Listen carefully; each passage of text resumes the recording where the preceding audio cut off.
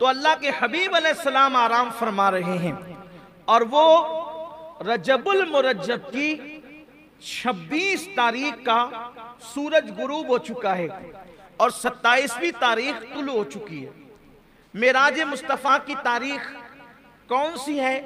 इसमें मुख्तलिफ़ अकवाल हैं, लेकिन जमहूर का कौल ये है, अक्सरियत का कौल ये है कि वो रजब की 27 तारीख है।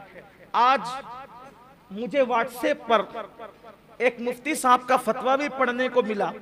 हालाँकि मैं ज़्यादा अहमियत नहीं देता ऐसे लोगों को, लेकिन चूँकि सिर्फ़ दो जुमलों में कि लोगों को इसकी गलत फहमी का इजाला हो जाए, ये उसमें लिखा था कि किसी हदीस से साबित नहीं है कि मेराज सत्ताईसवीं रजब को भी।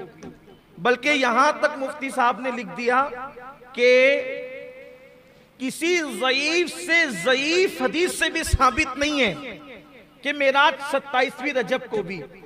मैं कहता हूँ, मुफ्ती साहब, अगर आपका मुताला इतना कलील है पहली बात तो कि आपको कोई जयीफ से जयीफ हदीस ही नहीं मिली तो कम से कम हम मेराज पढ़ने वालों से ही मशवरा कर लेते लिखने से पहले कि आपको हम बता देते, आपको बता देते हम कि अक्सर लोगों ने लिखा, चले, हमारी तरफ़ नहीं आते, आप अपने घर की किताबें पढ़ लेते।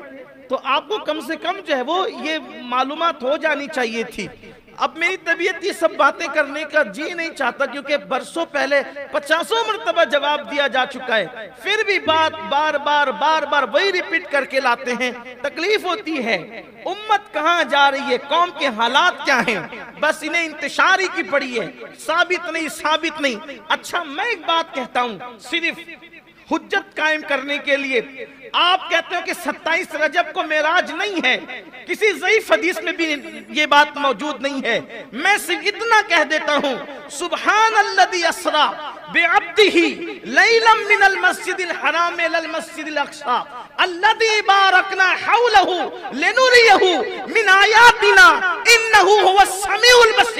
इसका मतलब क्या है? कुरान सर पे रख के इसका तर्जुमा कर दो।